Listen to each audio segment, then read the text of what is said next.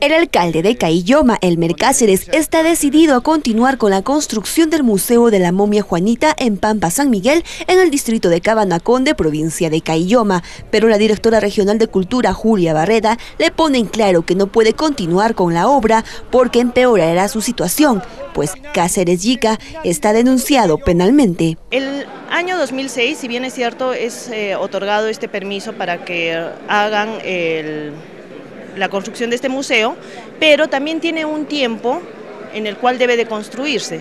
Ahí le otorgan dos años, ¿no? que también estuvo mal porque la ley solo permite, eh, después de concedida una autorización para intervención, eh, solo puede ser esta ejecutada en año y medio nada más. Miente la directora de INESE al indicar de que esa resolución ya no es válida. Es válida. Es más, las leyes y las resoluciones no son retroactivas, ¿cierto? Entonces, tienen vigencia. O sea, el día de hoy la institución dice te doy permiso y mañana dice no te doy permiso. O sea, ¿de qué institución estamos hablando? ¿Estamos hablando de seriedad o estamos hablando de personas que se dejan dominar por intereses oscuros? A pesar de las discusiones, la directora regional de Cultura pidió al alcalde Elmer Cáceres que para que se permita la construcción del Museo de la Momia Juanita, tiene que presentar un nuevo proyecto. En todo caso, el, el señor alcalde solicitó una ampliación pero eh, se le denegó por cuanto no hay vía ampliación tampoco, sino se tiene que eh, presentar un nuevo proyecto.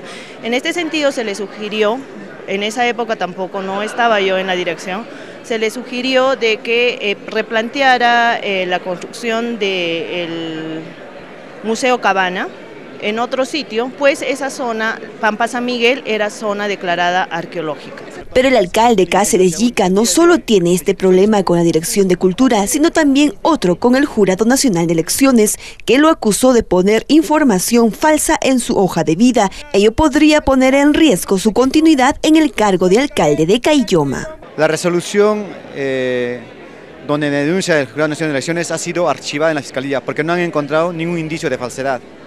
Lamentablemente el Jurado Nacional de Elecciones se aboca a este tipo de situaciones donde si te equivocas con una o no le pones una tilde o no le pones una coma, ya te denuncian.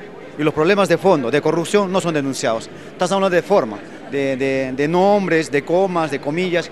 En todo caso, nosotros hemos demostrado de que hemos dicho la verdad en, nuestro, en nuestra ficha electoral, en nuestra ficha donde acredita mi grado de arquitecto, etcétera, etcétera. Incluso el Jurado Nacional de Elecciones, el cual yo no le he denunciado, indicó que yo no era arquitecto. Yo he sido uno de los primeros eh, alumnos de mi, universidad que he sido graduado como arquitecto. Finalmente criticó que el Jurado Nacional de Elecciones se está convirtiendo en una institución de ingobernabilidad.